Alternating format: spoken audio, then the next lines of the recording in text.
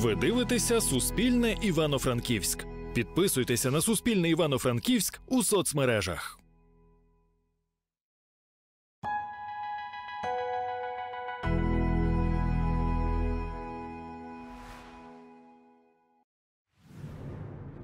У Львові онкохворому хлопчику з Франківщини пересадили кістку надруковану на 3D-принтері.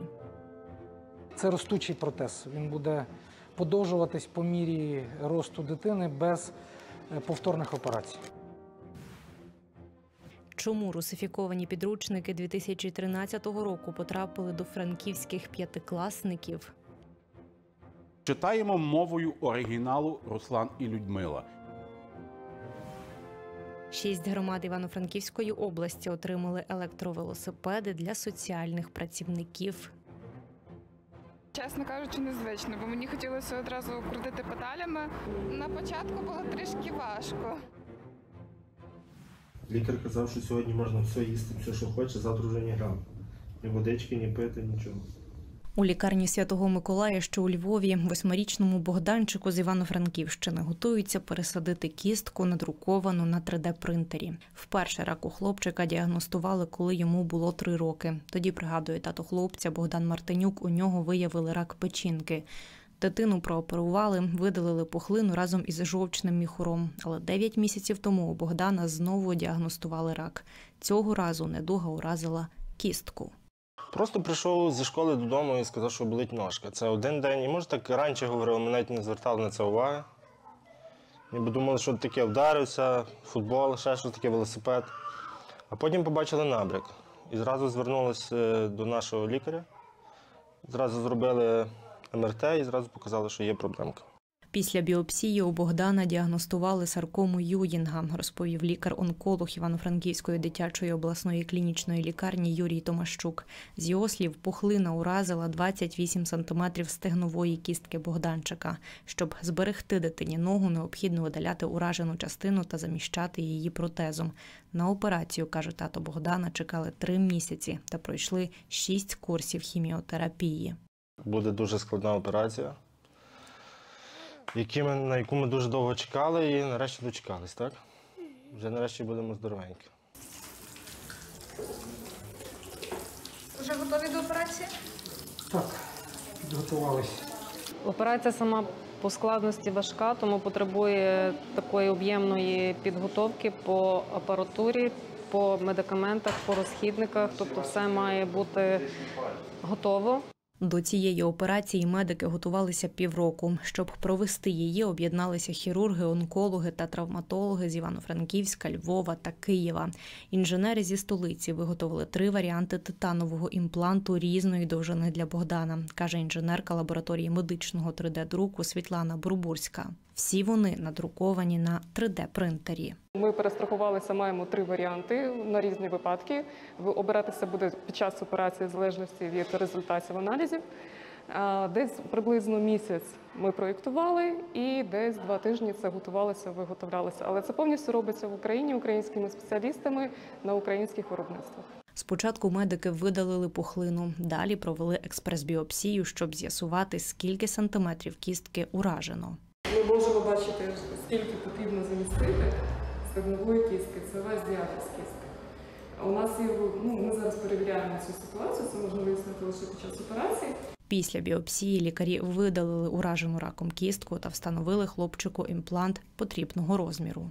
Це ростучий протез. Він буде подовжуватись по мірі росту дитини без е, повторних операцій. Операція тривала 6 годин, та зі слів лікарів минула успішно. Це саме перше питання у батьків стояло, чи залишиться кінцівка. Ми все зробили, щоб воно залишилося. Навіть було тяжко в операційній. По-друге, ми рятуємо життя, і він у нього дуже багато мрій, планів на життя. І ми постараємося йому втілити їх, щоб дуже хороший, мудрий хлопчик.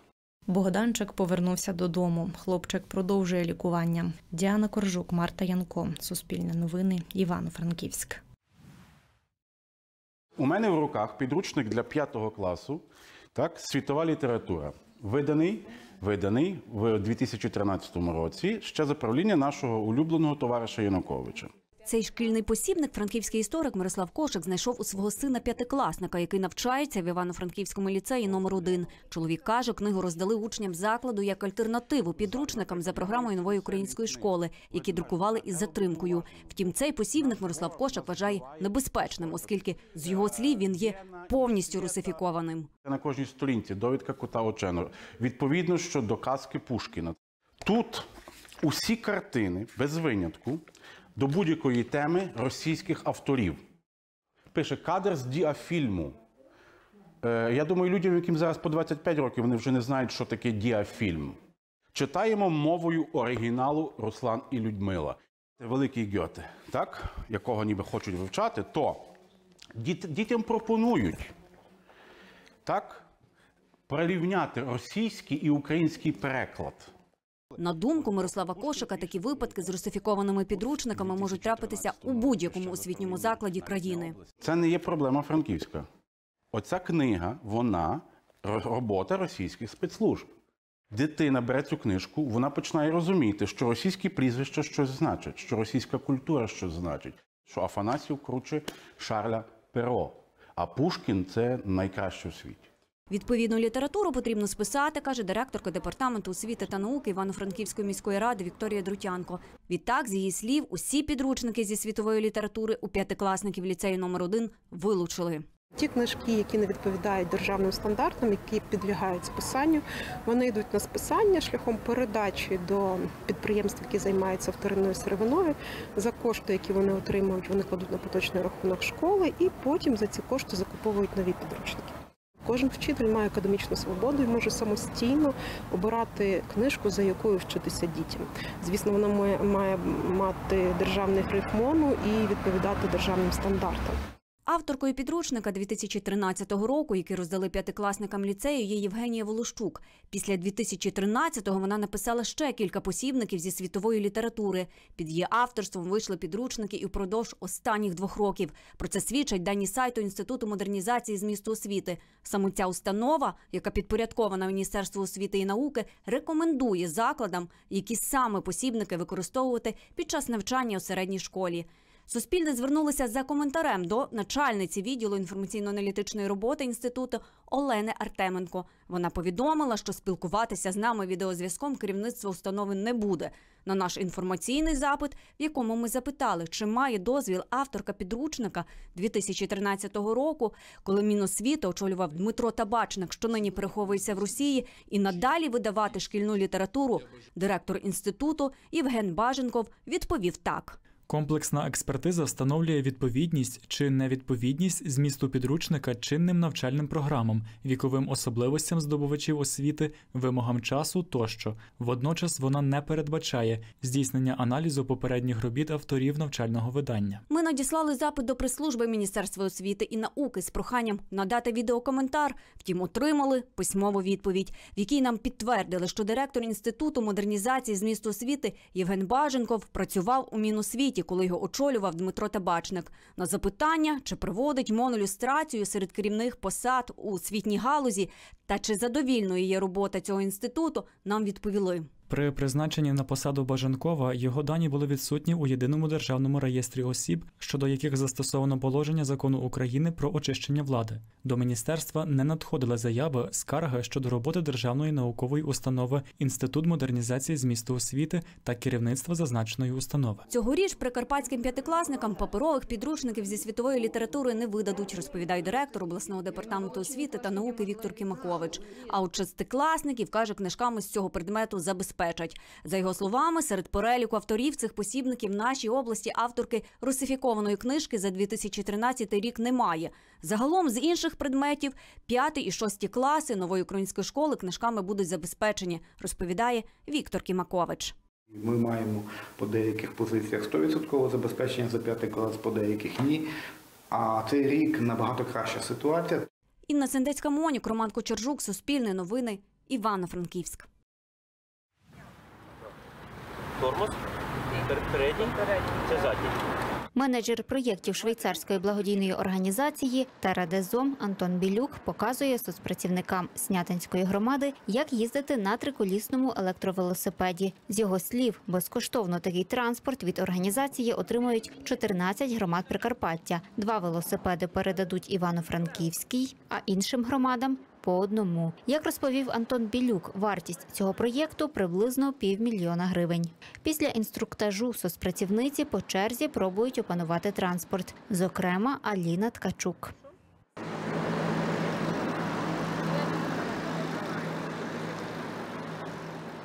Чесно кажучи, незвично, бо мені хотілося одразу крутити педалями. На початку було трішки важко, але я думаю, що практика вона дасть свої плоди. На цьому електровелосипеді возитимуть продукти соціально вразливим сім'ям, які є у Снятинській громаді, розповідає директорка комунальної установи Територіальний центр соціального обслуговування Галина Дороніна. Для відділення соціальної роботи, для якого і прибув цей транспортний засіб, е, ми сьогодні маємо під супроводом е, біля 52 сімей, які опинилися в складних життєвих обставинах.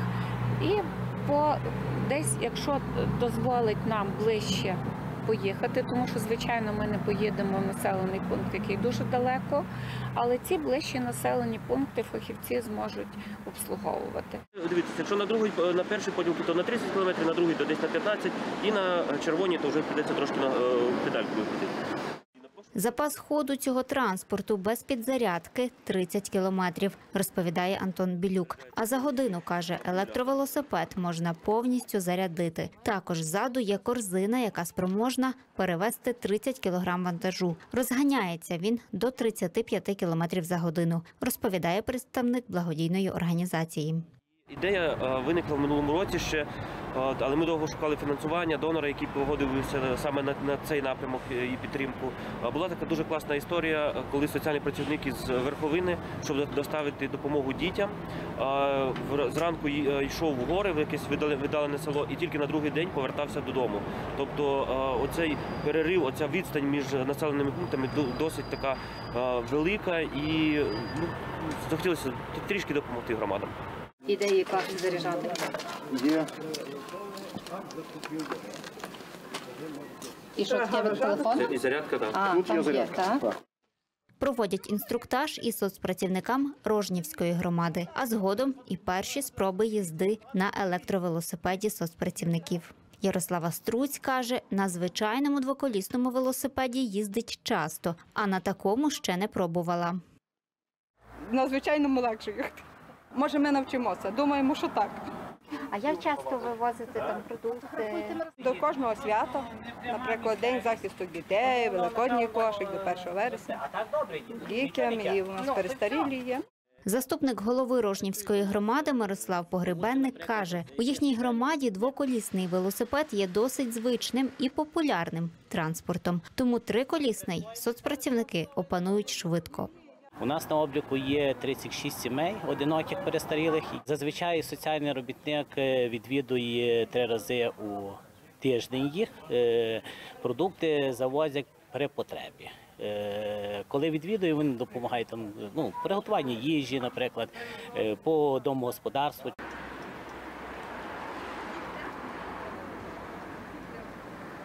Як розповів Антон Білюк, триколісні електровелосипеди сьогодні передали Рожнівський, Снятинський, Куцький, Яблунівський, Верховинський, Делятинський громадам. Решта громад отримають їх протягом наступних кількох днів. Оксана Василик, Роман Булелик, Суспільне новини, Івано-Франківська область.